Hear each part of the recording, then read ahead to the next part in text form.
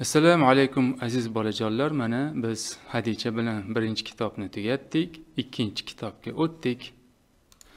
Endi ikkinchi kitobda biz o'sha birinchi kitobda alohida alohida o'tilgan edi. Bu kitobda endi qo'shib o'rganamiz. Ha mana bu yerda ba ta bo'lsa ulanganda bir xil mana bunday ulanadi. Talaffuzi o'sha o'sha. Ba ta. Ba da ba da. Bu yerda mana ta ro buni birinchi kitobda biz o'rgandik. Buni ham buni ham buni ham buni ham. Endi bir biriga ulanganda qanday bo'ladi? Ya'ni biz masalan bolalar qo'l ushlashamizku o'yin o'ynaganda. Xuddi shunday bular ham qo'l ushlashib qo'l ushlab mana ta ro ta va ta va bo'ldi. Mana bizaga endi o'qib beradilar. Hmm, yaqinroq. Bata.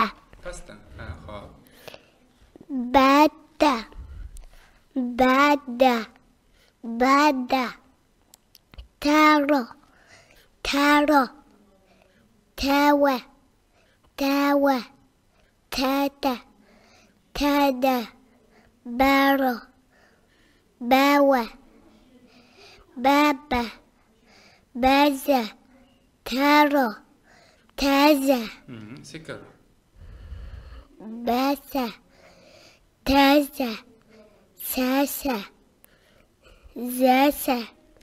sa Hmm. ba'a ba'ata ha tushunarli mana bu yerda ba a bo'ldi bu yerda ba a ta ta'a. Ta'ata. Saba saro baro tawa toha jama kana sa'a ha demak to ha ja ma ka na sa a bo'ldi ayn harfi. Yuqorida mana za harfi. Til uchidan chiqadi. Ba za demak shu bugungi darsimiz shu. Keyingi dars nni o'tamiz.